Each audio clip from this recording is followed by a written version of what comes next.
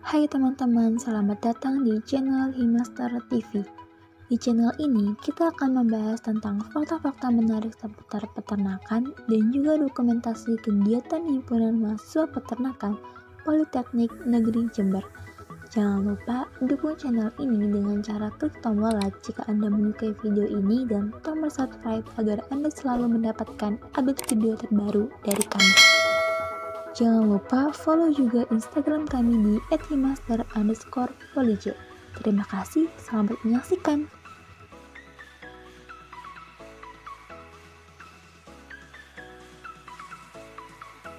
Di video kali ini, kita akan membahas tentang mitos atau fakta tentang cekar ayam yang cukup ramai dipertanyakan saat ini, yaitu apakah mengkonsumsi cekar ayam dapat menyebabkan kolesterol? Banyak dari kita suka sekali mengkonsumsi cekar ayam, entah itu untuk dijadikan lauk atau dijadikan cemilan. Teksturnya yang unik dan lembut serta rasanya yang gurih membuat banyak orang menyukai cekar ayam. Namun, banyak beredar bahwa cekar ayam dapat menimbulkan kolesterol jika kita mengkonsumsinya. Apakah benar demikian? Dihimpun dari data headline, sepasang cekar ayam atau sekitar 70 gram mengandung 150 kalori, 14 gram protein, 10 gram lemak, dan 0,14 gram karbohidrat. Cekar ayam juga mengandung sejumlah vitamin dan mineral yang dibutuhkan oleh tubuh.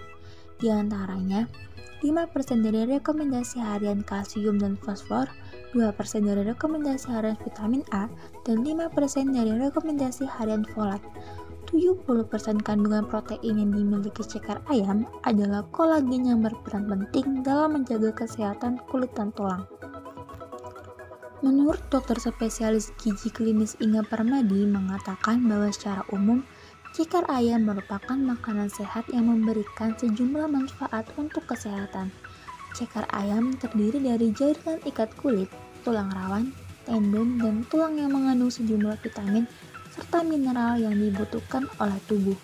Kaitannya dengan kolesterol, dokter spesialis gizi klinis Inga Permadi mengatakan per 100 gram cekar ayam biasanya mengandung 84 mg kolesterol. Sedangkan menurut ahli gizi dari Universitas Muhammadiyah Surabaya, Tri Kurniawati mengatakan 100 gram ceker mengandung 5,5 gram lemak tak jenuh atau sekitar 60% dari kebutuhan harian orang dewasa dan 84 gram kolesterol atau 20% dari kebutuhan harian orang dewasa.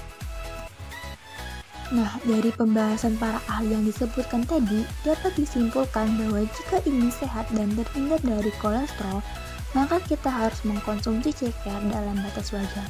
Contohnya, orang dengan kolesterol normal perlu membatasi asupan kolesterol kurang dari 300 mg sehingga diperbolehkan mengkonsumsi 300 gram ceker atau sekitar 3 pasang ceker. Sementara itu, bagi kita yang hiperkolesterol, dianjurkan membatasi asupan kolesterol maksimal 200 mg. Artinya, setara dengan 200 gram ceker per hari atau sekitar 2 pasang ceker. Terlepas dari berita miring tentang ceker ayam, faktanya jika ceker dikonsumsi dalam tahap wajar, maka kita bisa mendapatkan sejumlah manfaat dan banyak nutrisi lain yang bisa didapat dari nikmatnya menyantap ceker ayam. Di antaranya adalah sebagai berikut. Yang pertama, berdasarkan dari data headline, sepasang ceker ayam atau sekitar 70 gram mengandung 150 kalori, 14 gram protein, 10 gram lemak, dan 0,14 gram karbohidrat. Ceker ayam mengandung sejumlah vitamin dan mineral yang dibutuhkan oleh tubuh seperti 5% dari rekomendasi harian kalsium, 5% dari rekomendasi harian fosfor, 2% dari rekomendasi harian vitamin A, dan 15% dari rekomendasi harian folat atau vitamin B9. Yang ketiga, 70% kandungan protein yang dimiliki cekat ayam adalah kolagen yang berperan penting dalam menjaga kesehatan kulit dan juga tulang.